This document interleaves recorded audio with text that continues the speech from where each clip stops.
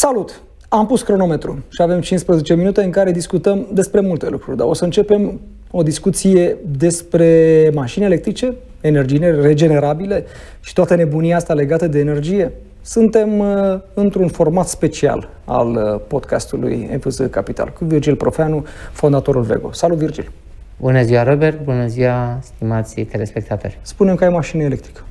N-am mașină electrică. De ce n-ai mașină electrică? O să-mi iau. Pe bune? La Eu un am vrut moment dat. să-mi iau. Hai să ne certăm. De ce vrei să-ți iei? De ce nu? Păi de ce să-ți iei? Este o mizerie. În momentul de față am, este. înce- am încercat o grămadă de variante să văd dacă într-adevăr e o treabă care m-ar scuti de bani mai mulți. Pare să că Dar de ce te gândești numai la bani? Hai Da. să vedem, e pentru medie e bine să fie mașină electrică? sau nu cred. Am auzit că bateriile mașinilor electrice sunt foarte greu după aceea, după ce se consumă bateria în vreo 10-15 ani, de mm, nici măcar nu mai pot fi refolosite. Trebuie depozitate. Și asta undeva. am auzit. Mm? Și atunci ce facem? Habar n-am, nu știu, stau și mă gândesc la un moment dat că până la urmă trotineta electrică este singura variantă. Dar cum te deplasezi cu trotineta electrică la mare? De ce e electric? Ar fi o întrebare. Da. Acum discutăm așa, nu ca specialiști, ci ca niște oameni care s-au informat și au citit pe subiecte. Um, cred că e bine să ai ceva electric. O mașină de oraș, poate că da. Iată. Mhm. Deci pentru distanțe scurte, Mhm. uh, 30-50 de kilometri, să poți să încarci, și acum vine a doua chestiune, de unde încarci. Pentru că dacă energia pe care tu o folosești electrică provine din cărbune, atunci N-ai făcut mai nimic. n-ai, dis- n-ai ajutat cu nimic pământul. Dar poate spui niște panouri solare acasă, Le am deja. bravo, și te încarci. Întrebarea e când te încarci, că Asta e problema, că s-ar putea să ajungi noaptea acasă. Mă, Da. mă rog, faptul că devii prosumator și că bagi energia în rețea, ai putea spune chiar și noaptea dacă încarc nu e o problemă, că de fapt consum din creditul pe care l-am acumulat pe parcursul zilei. da, Da, e o variantă. Problema este alta și aici ne izbim în continuare de birocrație și mie mi se pare că există mai mult decât birocrație.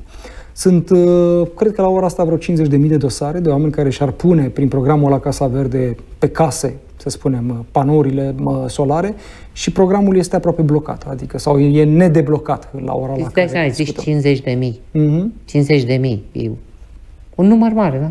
Da, 50.000 de oameni care ar vrea să facă acest uh, lucru. Și atunci trebuie să ne ducem spre un subiect mai vechi pe care l-am avut noi și anume că înainte de a ne gândi să uh, modernizăm lumea, să ajungem să modernizăm munca pe care o facem. Digitalizare și automatizare, roboți și inteligență artificială. Adică acele dosare, în loc să fie uh, numărate, vizualizate, procesate de oameni, să fie procesate de algoritmi. Și atunci probabil că n-ar mai fi blocaj. Pentru că în general, capacitatea de finanțare este mult mai mare decât fo- capacitatea de organizare a lucrurilor. Adică un stat uh, bine organizat atrage bani de peste tot și statele bogate sunt de fapt statele organizate, nu neapărat cele care au resurse. Dacă ne uităm așa pe o harta a bogățiilor, bogățiile pe state și bunăstarea pe state, am zice că cele mai puțin uh, bogate din punct de vedere al resurselor sunt cele mai organizate și cele mai uh, cu un nivel de trai cel ridicat, cel mai ridicat. Discuția noastră pleacă, apropo de la chestiunea asta legată de energii regenerabile, mașini electrice, ca pretext, să spunem, și duce, uh, e un pretext pentru o discuție ceva mai amplă. Tu chiar crezi că ne aflăm în fața unei crize climatice? Adică, sigur, știu că ni se spune lucrul ăsta de foarte multă vreme și ni se spune de niște oameni care au uh, un ascendent uh, uh, în sensul în care uh, au studiat problema. Vin și ne spun, noi de ani de zile studiem ghețari, noi de ani de zile studiem uh, gazele cu efect de seră, noi de ani de zile studiem uh, gaura din stratul de ozon și studiem de ani de zile uh, smogul din uh, marile uh, orașe. Da, dacă nu, lucrurile nu stau așa. Și să spun de ce. Uite, am aici o carte, am mai arătat-o la un moment dat într-un alt podcast, în care un tip vine și zice nu există uh, criză climatică. Și cartea asta nu e așa că așa crede el.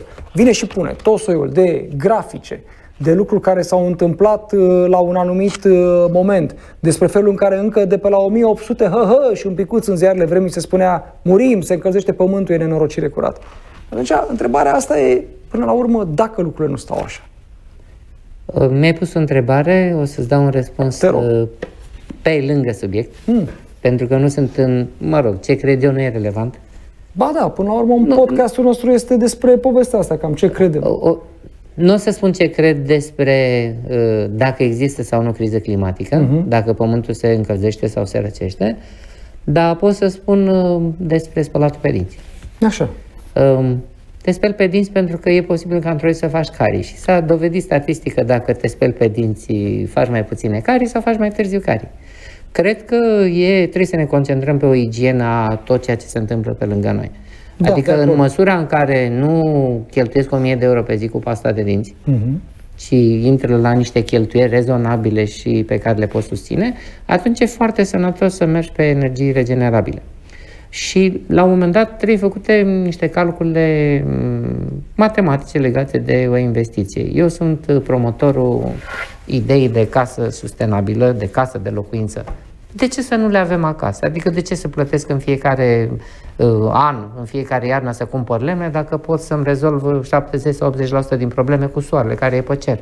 Mi-am pus niște tuburi solare, captez energia și... Da, da, costă. Adică... E o investiție, de asta spun că trebuie să uh-huh. le mhm. faci pe uh, niște calcule matematice și atunci când poți să investești în așa ceva, investește, pentru că banii se vor uh, întoarce. Vorbeam uh, uh, acum ceva vreme, nu foarte mult, cu un om pe care îl apreciez foarte mult pentru faptul că e pasionat de domeniul lui. Îl cheamă Dumitru Chiseliță, e un specialist în ceea ce înseamnă uh, energii regenerabile, construcții sustenabile din punctul de vedere și uh, îi ceream un sfat. L-am întrebat, la un moment dat i-am spus, știți, zic, mă bate gândul să îmi instalez o pompă de căldură că tot e la modă povestea asta, cu pompele de căldură, panouri solare, ca să nu mai uh, testăm Întrebarea e ce, ce vrei să faci cu pompa de căldură? Să-mi încălzesc locuința. Cum? Uh, cu ajutorul panourilor solare și cu ajutorul energiei pe care o produc panourile solare. Dar uh, păstrezi caloriferele sau nu? Uh, n-am ajuns cu discuția până acolo. Trebuie pentru să ajungi cu discuția până acolo. Dintr-o dată, uh, domnul respectiv mi-a spus, sigur, discuția a fost destul de frugală, adică n-am avut timp să aprofundăm uh, Dar putem să și aprofundăm. Da, dar mi s-a părut interesant și mi-a spus. Mi-a spus, zice, nu merge povestea asta cu pompele de căldură. E o gogoriță. Și am zis, de ce nu merge? Cum adică nu merge? Și a început să-mi explice faptul că se începe să se renunțe la povestea cu pompele de căldură pentru că, uh, spre exemplu, ele creează un anumit dez, un, un adevărat dezastru, că ele trebuie duse la o anumită adâncime. Hai să, în, hai să nuanțăm. În pământul în care la Hai să nuanțăm. Există două tipuri de pompe de căldură. Uh-huh. Pompe de căldură aer-apă, pompe de căldură sol-apă sau apă-apă. Uh-huh. Uh, eu sunt promotorii ideii de pompe de căldură aer-apă și mai avem timp să detaliem. Uh, cele sol-apă, uh, sol-apă care își au energia din sol, creează permafrost. Adică uh, dezechilibrează solul unde sunt amplasate pe o adâncime de 100 de metri, pe o rază de 30-40 de metri. Groază. Cele aer-apă își au energia din aer. Uh-huh. Aparent au un randament COP, se numește, adică câtă energie electrică transformă în energie uh, termică, uh-huh. utilizând uh, energia mediului înconjurător și dacă cele sol-apă au, să zicem, un cop uh, relativ constant în decursul anului la un 4 jumate, cea aer-apă are la un moment dat 4, la un moment dat 2. Dar investiția este mult mai mică în cea uh, aer-apă pentru că e efect, deci, o pompă e de un căldură, aparat de aer condiționat. Apara, uh, seamănă cu un aparat de aer condiționat mm-hmm. și dacă ești la momentul în care te-a pus să faci investiții, adică nu uh, vii să strici ceva, ci chiar îți construiești o casă, uh, nu mai ai nevoie de aparate de aer condiționat. Adică mm-hmm. pompa de căldură știe să-ți producă și recele pe care ți-l producea aerul condiționat, știe să-ți producă și apa Uh, curentă menajeră cu o paranteză și discutăm imediat și despre paranteză și știe să producă căldură pentru a te încălzi iarna, dar eficiența este bună atunci când ai încălzire în pardoseală.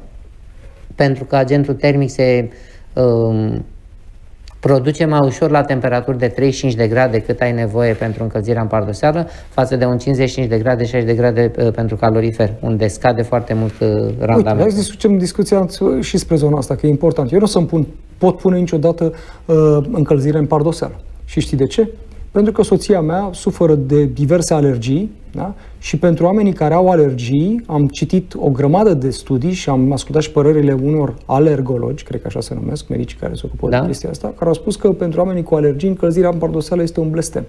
Practic tot praful care se ridică din zona asta de aici, și din cauza faptului că se încălzește practic pardoseala, particulele se ridică în aer, oamenii care au alergie aproape că nu pot locui într-o casă cu încălzire în pardoseală. Poate mă înșel. Și aici sunt nuanțe și nuanțe. Există Poate soluții, da. adică există materiale moderne pentru pardoseli um, care nu acumulează praf, uh-huh. le speli în fiecare zi cu un mop și nu e mare filozofie, poți să spui uh, un filtru în casă, în cameră și nu... Ai încălzire în pardoseală acasă? Am încălzire în pardoseală. Și e mai bine? Adică consumul crezi că e mai mic decât la un, o încălzire clasică? Păi depinde pe ce soluție mergi. Dacă mergi pe gaz, nu e relevant. Diferența este uh, poate nesemnificativă. Uh-huh. Confortul aparent pentru corp e mai mare când ești pe încălzirea în pardoseală pentru că în loc să... Hai să zicem, e vorba de ceea ce simți când ești în cameră. Dacă ești obișnuit să stai pe 23 de grade într-o casă încălzită cu calorifere, la încălzirea pardoseală s-ar putea să ai nevoie de 20-21, pentru că uh, încălzirea se face de jos în sus și organismul tău are un confort uh, uh-huh. un confort uh, egal cu cel cu o temperatură mai mare. Nu cred că e diferență mare de uh, costuri să fie mai ieftin că încălzești în pardoseală uh, când ești pe încălzire cu gaze. Dacă ești încălzire cu pompă de căldură, ești cam obligat să mergi pe încălzire în pardoseală pentru că altfel randamentul pompei de căldură e foarte mic.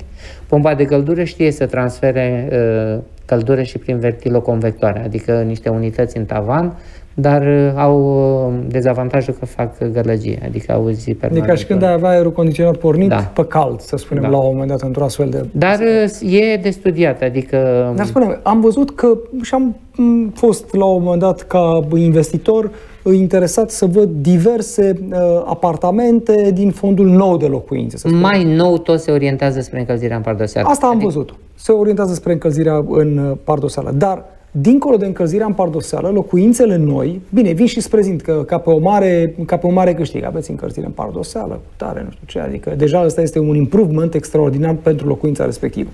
Să dacă stai și te uiți după aceea la felul în care este construit, spre exemplu, uh, uh, un, un apartament uh, și îți dai seama că el nu știu cum se numește procedura asta de anvelopare da, a blocului respectiv, e făcută în bătaie de joc, stai și te gândești, ok, și ce am câștigat dacă mi-e pus încălzire în pardoseală, dar de fapt anveloparea blocului este făcută cu celebrul polistiren, uh, da...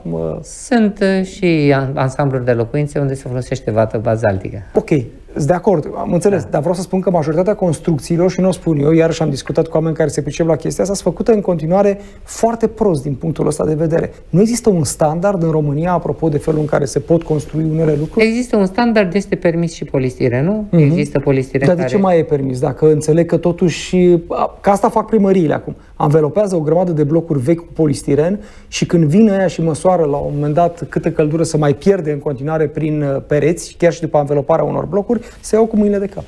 Um,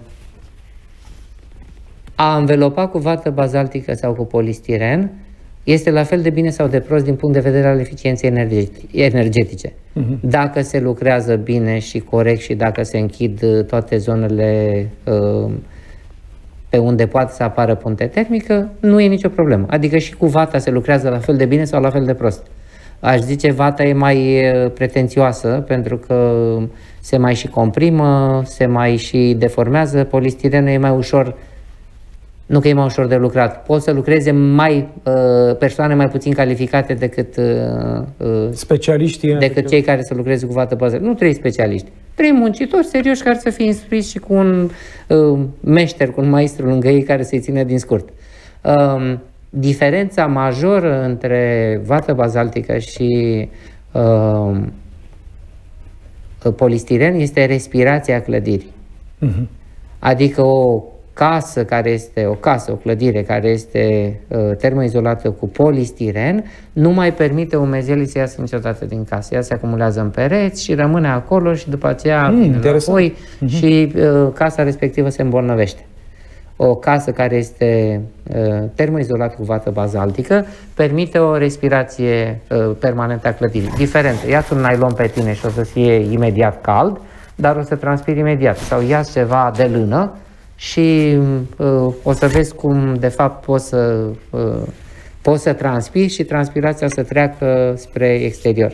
Punem punct aici acestui episod, că am zis că vrem să fim cât se poate de scurs și cred că s-au uh, pus pe masă niște variante foarte interesante. Acum fiecare trebuie să aleagă la un moment dat din ceea ce ai Fiecare spus trebuie tu, să citească. Adică Să să, cite- citim, să citim, să citim. Mult, mult. Să citim. să devenim chiar, articole. chiar specialiști la un moment dat în casă până când Cel puțin decidem pentru viața pentru ce- noastră, da. Pentru viața noastră. Păi, Pe Când, când îți iei o mașină, nu citești și tot citești și tot... categorii. Așa facem. Să citim atunci. Să citim. Ne întoarcem rapid.